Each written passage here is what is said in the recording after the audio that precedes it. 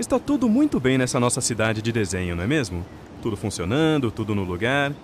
Agora, já imaginou uma cidade sem orçamento público?